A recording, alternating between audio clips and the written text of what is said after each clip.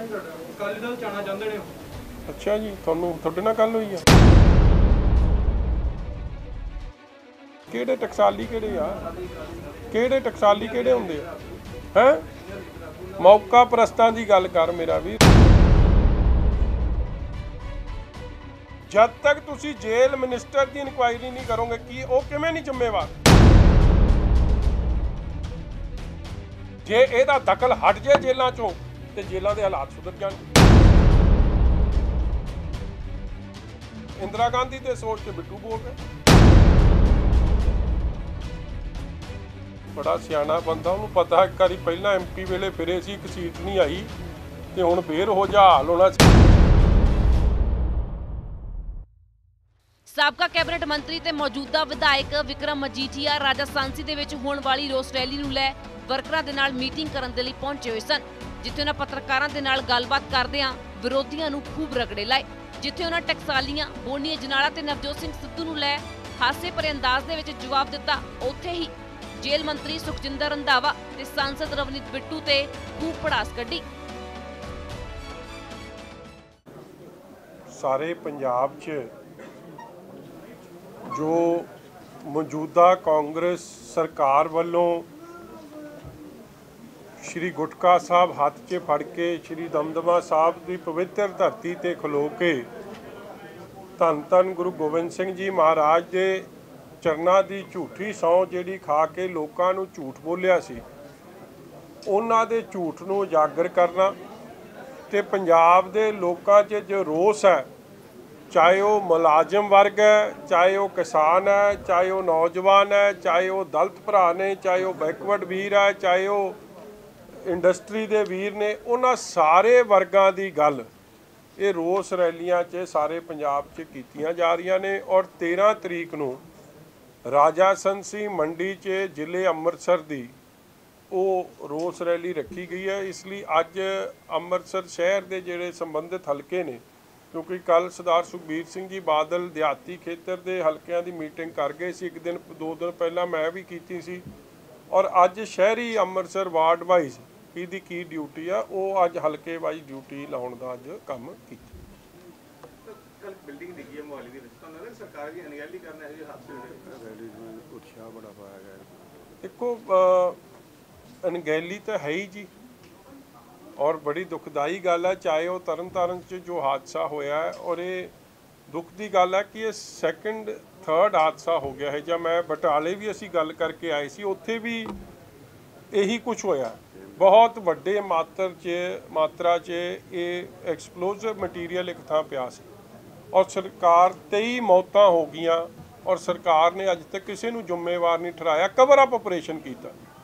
ਕੱਲ ਵੀ ਦੋ ਡੈਥ ਹੋ ਗਈਆਂ ਨੇ, ਕਾਫੀ ਸੀਰੀਅਸ ਜ਼ਖਮੀ ਨੇ, ਮਗਰ ਉਹਦੇ 'ਚ ਅਣਗਹਿਲੀ ਕੀ ਦੀ?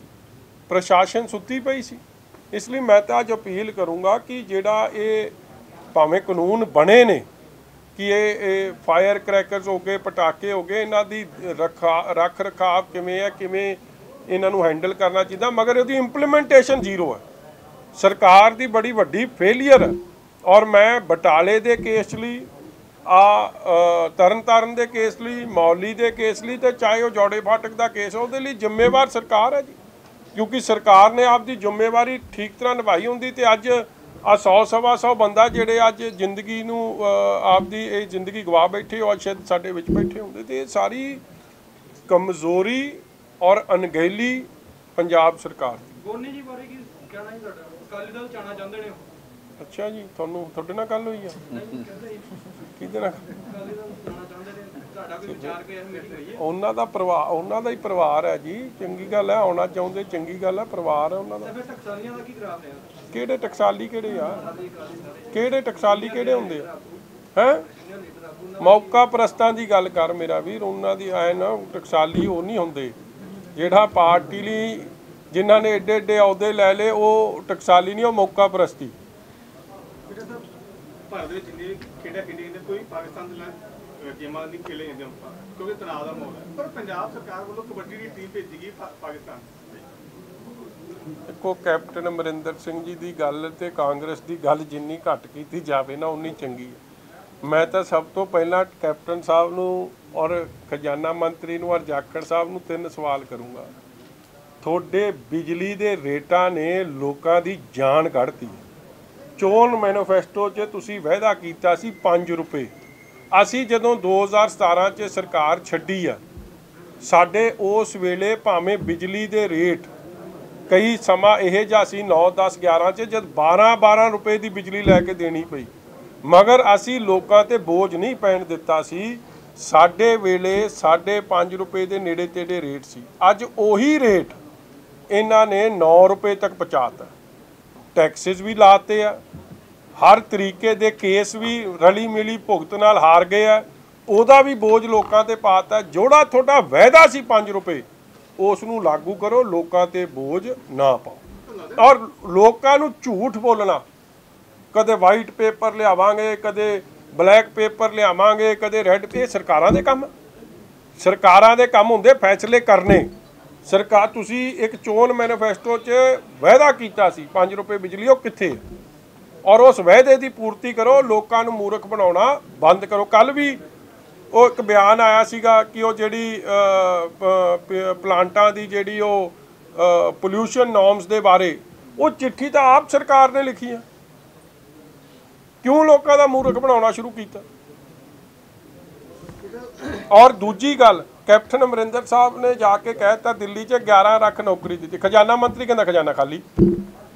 ਟੀਚਰਾਂ ਦੀ ਤਨਖਾਹਾਂ 45000 ਤੋਂ ਕਰਤੀ 12000 ਤੇ 11 ਲੱਖ ਤੁਸੀਂ ਦੇ ਕਦੋਂ ਦਿੱਤੀਆਂ? ਸਾਨੂੰ ਤਾਂ ਦਿਓ, ਦਰਸ਼ਨ ਤਾਂ ਕਰਾਓ। ਅਸੀਂ ਉਹਨਾਂ ਮੁੰ- ਬੱਚਿਆਂ ਦਾ ਵੀ ਸਨਮਾਨ ਕਰੀਏ।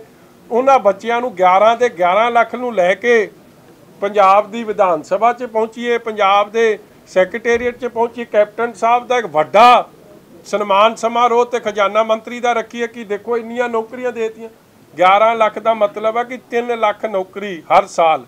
ਮਤਲਬ ਕਿ ਹਰ ਵਾਰਡ 'ਚ, ਹਰ ਪਿੰਡ 'ਚ ਘੱਟੋ ਘੱਟ 5-5 ਜੀਆਂ ਨੂੰ ਇਹਨਾਂ ਨੇ ਨੌਕਰੀਆਂ ਦਿੱਤੀਆਂ ਮਗਰ ਕਿੱਥੇ ਆ? ਨੌਕਰੀਆਂ ਖੋਹ ਲੀਆਂ ਚਾਹੇ ਉਹ ਉਹ ਜਿਹੜੇ ਸੇਵਾ ਕੇਂਦਰ ਸੀ ਉਹ ਬੰਦ ਕਰਤੇ ਟੀਚਰਾਂ ਦੀ ਤਨਖਾਹ ਘਟਾਤੀਆਂ ਔਰ ਫਿਰ ਝੂਠ ਏਡਾ ਵੱਡਾ। ਫਿਰ ਕਹਿੰਦੇ ਜੀ 5000 ਸਕੂਲ ਖੋਲਤਾ। ਟੀਚਰਾਂ ਨੂੰ ਤਾਂ ਤੁਸੀਂ ਰੋਜ਼ ਛਿੱਤਰ ਫੇਰੇਟ ਕਰਦੇ ਹੋ ਵਿਚਾਰਿਆਂ ਦੀ ਜਿਹੜਾ ਨੌਕਰੀ ਮੰਗ ਲਵੇ। ਤੇ ਸਮਾਰਟ ਸਕੂਲ ਕਿੱਥੇ ਚੱਲਿਆ? ਸੌਰੀ 84 ਨੌਕਰੀਆਂ ਬਣਦੀਆਂ ਜੀ ਇੱਕ ਪਿੰਡ 'ਚ। ਲਿਆਓ ਪਿੰਡ ਵਾਲੇ ਕੱਢ ਕੇ ਜਿਹੜੇ ਜਿਹੜੇ ਪਿੰਡ 'ਚ 84 ਨੌਕਰੀਆਂ ਸਰਕਾਰ ਨੇ ਹਰ ਸਾਲ 'ਚ ਇੱਕ ਪਿੰਡ 'ਚ ਆ ਤਿੰਨਾਂ ਸਾਲਾਂ 'ਚ ਹੀ ਦਿੱਤੀ। ਅਸੀਂ ਤਾਂ ਆਪ ਸਨਮਾਨ ਕਰਾਂਗੇ। ਔਰ ਕੈਪਟਨ ਸਾਹਿਬ ਦਾ ਧੰਨਵਾਦ ਕਰਕੇ ਪੱਕੀ ਸਮਰਥਨ ਕਰਾਂਗੇ ਕਿ ਇਹੋ ਜਿਹਾ ਹੀ ਮੁੱਖ ਮੰਤਰੀ ਪੰਜਾਬ ਨੂੰ ਚਾਹੀਦਾ ਹੋਰ ਕੋਈ ਚਾਹੀਦਾ ਹੀ ਨਹੀਂ। ਮਗਰ ਜੇ ਝੂਠ ਬੋਲਦਾ ਤਾਂ ਫਿਰ ਇਨਸਾਫ ਵੀ ਹੋ ਜਾਣਾ ਲੋਕਾਂ। ਦਿੱਲੀ ਦੇ ਐਗਜ਼ਿਟ ਪੋਲ ਕੀ ਕਹਿਣਾ ਤੁਹਾਡੇ? ਹਾਂਜੀ ਦਿੱਲੀ ਦੇ ਐਗਜ਼ਿਟ ਇਹ ਹੋਰ ਲੈਣ ਦਿਓ ਨਾ ਜੀ ਰਿਜ਼ਲਟ ਆ ਲੈਣ ਦਿਓ ਫਿਰ ਬੋਲਾਂਗੇ। ਪ੍ਰਨੀਤ ਕੌਰ ਜੀ ਦਾ ਬਿਆਨ ਆਇਆ ਕਿ ਦਿੱਲੀ 'ਚ ਆਪ ਦੀ ਸਰਕਾਰ ਬਣ ਰਹੀ ਹੈ ਕਿ ਕਾਂਗਰਸ ਦਾ ਦਾ ਕੁਝ ਨਹੀਂ ਇੱਥੇ ਜੀ। ਚਲੋ ਚੰਗੀ ਗੱਲ ਆ ਸੱਚ ਤਾਂ ਬੋਲਿਆ। ਦੇਖੋ ਕਾਂਗਰਸ ਦਾ ਤਾਂ ਸਭ ਸਪਸ਼ਟ ਹੀ ਹੈ ਜੀ। ਜਦੋਂ ਉਹਨਾਂ ਦਾ ਰਾਹੁਲ ਗਾਂਧੀ ਭੱਜ ਗਿਆ ਜੀ ਮੈਦਾਨ ਛੱਡ ਕੇ ਤਾਂ ਫਿਰ ਕੀ ਬਣਨਾ ਕੀ ਆ ਜੀ? ਕੋਈ ਕੋਈ ਵੱਡੇ ਬੀਬੀ ਜੀ ਕਹਿੰਦੇ ਨਹੀਂ ਸਿਹਤ ਨਹੀਂ ਠੀਕ ਰਹਿੰਦੀ। ਉਹ ਭੱਜ ਗਿਆ। ਤੇ ਉੱਥੇ ਤਾਂ ਹੈ ਹੀ ਨਹੀਂ ਡਰਾਈਵਰ ਤੋਂ ਬਗੈਰ ਗੱਡੀ ਤੁਰੀ ਫਿਰਦੀ ਹੈ ਤੇ ਇਹੀ ਕੁਝ ਹੋਣਾ। ਜੇ ਜਿਹੜੇ ਹਵਾਲਾ ਤੇ ਭੱਜੇ ਆ ਸੁਖੀ ਰੰਧਾਵਾ ਦਾ ਕਹਿਣਾ ਹੈ ਕਿ ਅਕਾਲੀ ਦਲ ਦੇ ਸਮੇਂ ਦੇ ਵਿੱਚ ਜੇਲ੍ਹਾਂ ਬਣੀਆਂ ਸਨ ਮਟੀਰੀਅਲ ਸਹੀ ਨਹੀਂ ਲੱਗਾ ਉੱਥੇ ਉਹਦੀ ਜਾਂਚ ਆਹੋ। ਕਰਾਈ ਗਈ ਠੀਕ ਆ। ਮੈਨੂੰ ਲੱਗਦਾ 5 ਸਾਲ ਬਾਅਦ ਵੀ ਉਹ ਸਾਨੂੰ ਹੀ ਜ਼ਿੰਮੇਵਾਰ ਠਰਾਈ ਜਾਣ। ਦੇਖੋ ਇੱਕ ਤੋਂ ਗੈਰ ਜ਼ਿੰਮੇਵਾਰਾ ਬਿਆਨ ਕੋਈ ਨਹੀਂ ਹੋ ਸਕਦਾ। ਔਰ ਮੈਂ ਇਹ ਪਹਿਲੇ ਦਿਨ ਵੀ ਕਹੀ ਸੀ ਔਰ ਅੱਜ ਵੀ ਕਹਿਣਾ ਕਿ ਪੁਲਿਸ ਗੈਂਗਸਟਰ ਮਿਨਿਸਟਰ ਬੜਾ ਵੱਡਾ ਨੈਕਸਸ ਚੱਲ ਰਿਹਾ। ਇਹ ਐਵੇਂ ਇਹ ਹਾਲਾਤ ਕਦੇ ਨਹੀਂ ਸੁਧਰਨੇ ਕਿਉਂਕਿ ਜਦ ਤੱਕ ਇਹਨਾਂ ਜੇਲ੍ਹ ਸੁਪਰਡੈਂਟਾਂ ਨੂੰ ਲਾਉਂਦਾ ਕੌਣ ਹੈ? ਘੁੱਗੀ ਮਾਰਦਾ ਜੇਲ੍ਹ ਮਿਨਿਸਟਰ। ਜਦ ਤੱਕ ਤੁਸੀਂ ਜੇਲ੍ਹ ਮਿਨਿਸਟਰ ਦੀ ਇਨਕੁਆਇਰੀ ਨਹੀਂ ਕਰੋਗੇ, ਕੀ ਉਹ ਕਿਵੇਂ ਨਹੀਂ ਜ਼ਿੰਮੇਵਾਰ? ਜੇ ਜੱਗੂ ਭਗਵਾਨਪੁਰੀਏ ਵਰਗੇ ਤਾਂ ਜਨਮ ਦਿਨ ਮਨਾਉਂਦੇ ਆ ਜੇਲ੍ਹਾਂ 'ਚ। ਇੱਕ ਫੋਨ 100 ਫੋਨਾਂ ਦੀ ਫੋਟੋ ਆਉਂਦੀ ਹੈ। ਔਰ ਜਨਮ ਦਿਨ ਮਨਾ ਕੇ ਔਰ ਇਹ ਫਿਰ ਅਗਲੇ ਦਿਨ ਖਬਰ ਲਾ ਦਿੰਦੇ ਕਿ ਫੋਨਾਂ ਦੀ ਰਿਕਵਰੀ ਹੋ ਗਈ। ਕਿਹੜੇ ਫੋਨਾਂ ਦੀ ਰਿਕਵਰੀ ਹੋ ਗਈ? ਜਿਹੜੇ ਅਫਸਰ ਇਹਨਾਂ ਦੇ ਇਸ਼ਾਰੇ ਤੇ ਕੰਮ ਨਹੀਂ ਕਰਦੇ, ਇਹ ਜੇ ਕ੍ਰਿਮੀਨਲਸ ਦੀ ਮਦਦ ਨਹੀਂ ਕਰਦੇ, ਉਹਨਾਂ ਦੇ ਖਿਲਾਫ ਐਕਸ਼ਨ ਹੈ, ਦੂਜੇ ਦੇ ਖਿਲਾਫ ਕੋਈ ਐਕਸ਼ਨ ਅੱਜ ਦੀ ਡੇਟ 'ਚ ਜੇਲ੍ਹ ਪ੍ਰਸ਼ਾਸਨ ਦਾ ਇਹ ਹਾਲ ਹੋ ਗਿਆ ਤਦੇ ਤੁਹਾਨੂੰ ਰੋਜ਼ ਦੀ ਰੋਜ਼, ਅੱਜ ਜਿੰਨੀ ਐਕਸਟੋਰਸ਼ਨ ਜਿੰਨੀ ਕ੍ਰਿਮੀਨਲ ਐਕਟੀਵਿਟੀ ਜਿੰਨਾ ਡਰੱਗ ਦਾ ਕਾਰੋਬਾਰ, ਜਿੰਨਾ ਫਰੌਤੀ, ਜਿੰਨੀ ਕੰਟਰੈਕਟ ਕਿਲਿੰਗ ਜੇਲ੍ਹ 'ਚ ਬੈਠੇ ਲੋਕ ਚਲਾ ਰਹੇ ਆ, ਤੇ ਸੁੱਕੀ ਰੰਧਾਵਾ ਕਹਿੰਦਾ, ਮੈਂ ਤਾਂ ਜ਼ਿੰਮੇਵਾਰ ਨਹੀਂ, ਪਿਛਲੀ ਸਰਕਾਰ ਜ਼ਿੰਮੇਵਾਰ ਹੈ, ਮੈਨੂੰ ਬੜੀ ਹੈਰਾਨਗੀ ਹੁੰਦੀ ਆ। ਕਿ ਇਹ ਤੋਂ ਗੈਰ ਜ਼ਿੰਮੇਵਾਰਾ ਬਿਆਨ ਕਿਹੜਾ ਹੋ ਸਕਦਾ? ਜੇਲਾਂ ਚੰਗੀਆਂ ਬਣੀਆਂ, ਮਾੜੀ ਬਣੀਆਂ, ਫਿਰ ਤਾਂ ਸਾਰੀਆਂ ਜੇਲਾਂ 'ਚ ਰੋਜ਼ ਭੱਜ ਜਾਣੇ ਚਾਹੀਦੇ ਸੀ। ਸੀਆਰਪੀਐਫ ਕੀ ਕਰੂ ਜੀ? ਜਦ ਜਿਹੜੇ ਜੇਲ੍ਹ ਸੁਪਰਿੰਟੈਂਡੈਂਟ ਕੌਣ ਲਾ ਰਿਹਾ? ਜੇਲ੍ਹ ਦੀ ਇੱਕ ਇੱਕ ਬਦਲੀ ਕਾਂਸਟੇਬਲ ਤੋਂ ਲੈ ਕੇ ਜੇਲ੍ਹ ਸੁਪਰਿੰਟੈਂਡੈਂਟ ਤੱਕ ਵਜ਼ੀਰ ਕਰ ਰਿਹਾ। ਸੀਆਰਪੀਐਫ ਬਾਹਰ ਕੀ ਕਰ ਦੂ ਚਾਰ ਬੰਦੇ? ਇਹ how is minister not responsible ਜਿਹੜਾ ਇਹਦੇ ਇਸ਼ਾਰੇ ਤੇ ਕ੍ਰਿਮੀਨਲ ਬੰਦੇ ਦੀ ਅੰਦਰ ਮਦਦ ਨਹੀਂ ਕਰਦਾ ਉਹਦੀ ਤਾਂ ਇਹ ਬਦਲੀ ਕਰ ਦਿੰਦੇ। ਔਰ ਬਾਹਰ ਤੁਹਾਨੂੰ ਡਰਾਮਾ ਕਰ ਦੇਣਗੇ, ਮੈਂ ਤਾਂ ਕਿੰਨੇ ਸਸਪੈਂਡ ਕਰਤੇ ਜੀ, ਮੈਂ ਹੋਰ ਕਿੰਨੇ ਕਰ ਦੂੰ।